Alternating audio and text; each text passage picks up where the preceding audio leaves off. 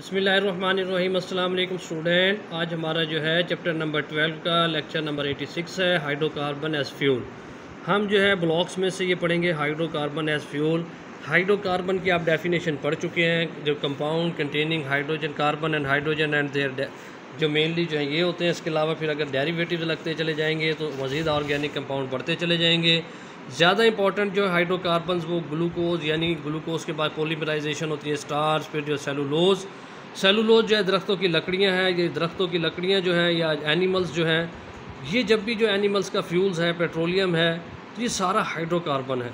तब हम देखते हैं कि मेन कॉन्स्टिट्यूंट क्या है हाइड्रोकार्बन्स के।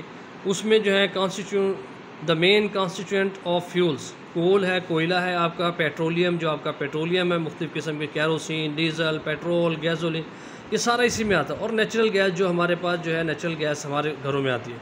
और hydrocarbon when hydrocarbon are burn in the air the reaction is called combustion. जब भी हाइड्रोकार्बन को हम जलाते हैं तो इसके नतीजे में जो रिएक्शन होता है, उसे हम कहते हैं कम्बस्टन का प्रोसेस हो रहा है, यानी जलने का प्रोसेस हो रहा है।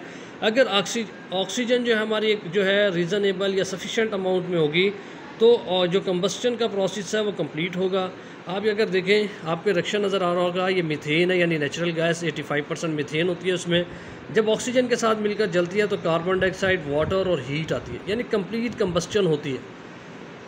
और अगर ऑक्सीजन की जो ऑक्सीजन की सप्लाई कम होगी या इनसफिशेंट होगी तो फिर जो है कार्बन मोनोक्साइड भी प्रोड्यूस होती है, जो इंतहाई डेंजरस है।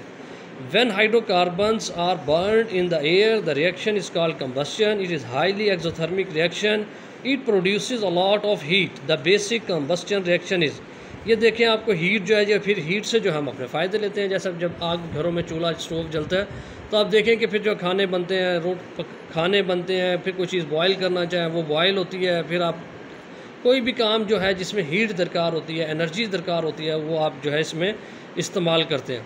इसके अलावा जब the heat thus produce use to meet need of energy in homes transportation as well in industry. अब ट्रांसपोर्टेशन में कैसे होगा कि आप जितने भी ऑटोमोबाइल देख लें, इनके अंदर पेट्रोल चल रहा होगा। आप देख लें, जो आपके इंजन हैं, जो प्लेन्स हैं, जहाँ भी इंजन होंगे, किसी भी चीज़ से मुतल चाहे वो टर्बाइंस हों या इंडस्ट्री के बड़े बड़े जो हैं जनरेटर हों, वहाँ पर ये सारा जो हाइड्रोकार्बन इस्तेमाल होता है और फ्यूल के तौर पर यूज़ होता है।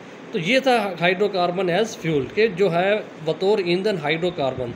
तो ये आपने जो है ना इसको समझना है आपकी अंडरस्टैंडिंग के लिए। एक बहुत बड़ा जो है ये एक पूरा जो है ग्रुप है हाइड्रोकार्बन एज ए फ्यूल और बहुत बड़ी जो है इंडस्ट्री है और जो है ना आपने इसको याद करना। अल्लाम